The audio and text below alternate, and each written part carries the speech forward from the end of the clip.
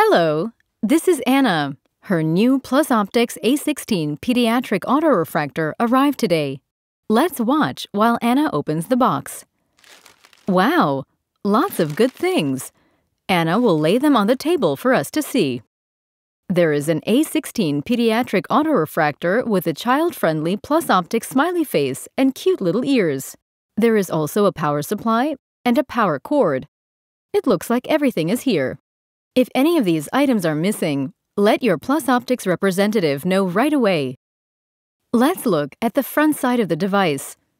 The speaker is located behind the slits below the smiley face and emits an attention-grabbing warble sound.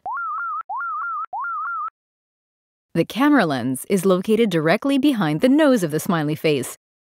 If the child is old enough to understand instructions, they should be asked to look directly at the nose of the smiley face. Avoid the use of additional fixation aids. Having the child look directly at Smiley's nose will produce a good, valid measurement result.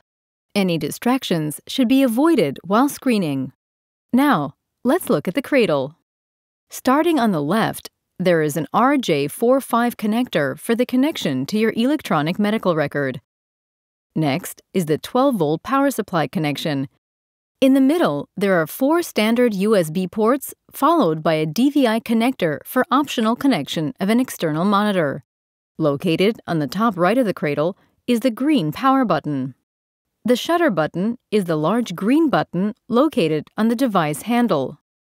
The fitting of the measuring head to the cradle is integrated in the hand grip so that the measuring head can be mounted quickly and securely from any direction. The cable between cradle and measuring head is arranged on the back side of the cradle so that the cable can be laid outside of children's reach. Let's have a look at the back side. The screen is a 4.3-inch resistive screen.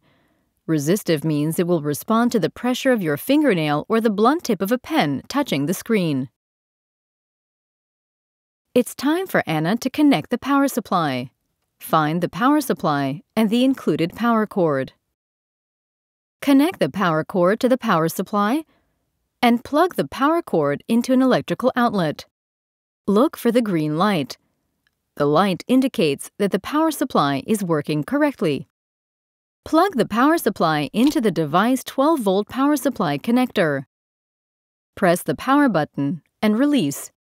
It will take about 30 seconds for the plusoptiX device to boot completely.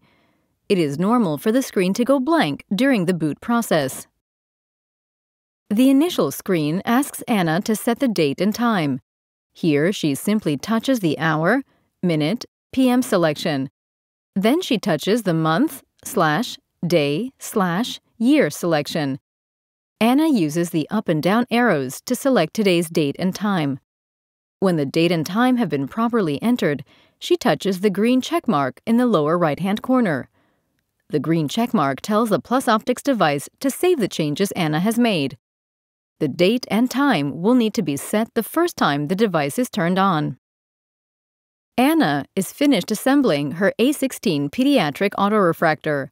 She turns her device off by pressing and releasing the power button.